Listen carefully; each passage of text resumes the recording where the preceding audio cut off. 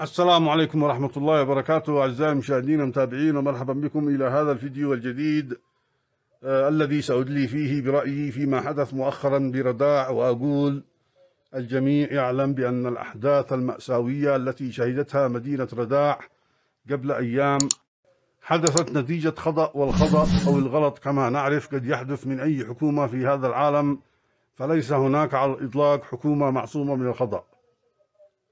ما لو شي حكومة معصومة من الخطأ يا نعمتها. لكن الغريب الغريب في الموضوع هو التعامل المتعمد من قبل خصوم خصوم صنعاء ممن عرفناهم مرتزقة للعدوان. آه، تعامل هؤلاء مع هذه الحادثة بما يخدم مصلحة الخارج لا بما يخدم مصلحة الشعب اليمني. وهؤلاء كما يعلم الجميع لا هم لهم إلا تخريب البلاد وإعادتها مرة أخرى إلى مربع الحرب والتناحر من جديد خدمة للأمريكي الذي يتربص بنا الدوائر. وإحنا قد شبعنا حروب بيناتنا البين. طبعا أنا لا أدافع عن حكومة صنعاء والغلط عندها لا شك.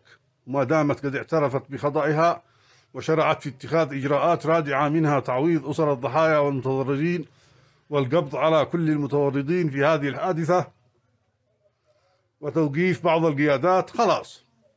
ما حصل حصل. واللازم الآن هو محاسبة المسؤولين عن هذه الحادثة سواء كانوا مواطنين أو قيادات أمنية.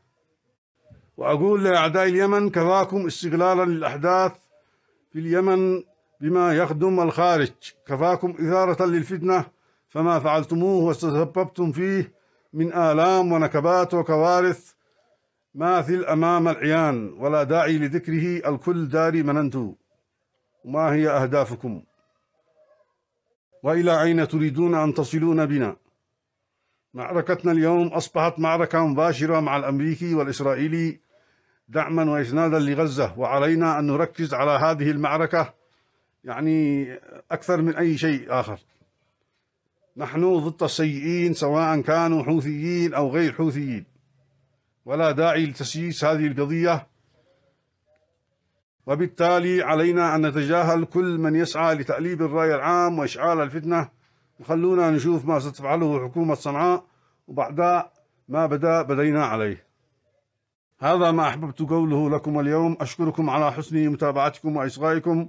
ولا تنسوا التعليق والإعجاب بالفيديو والاشتراك في القناة وتفعيل جرس التنبيهات. والسلام عليكم ورحمة الله وبركاته.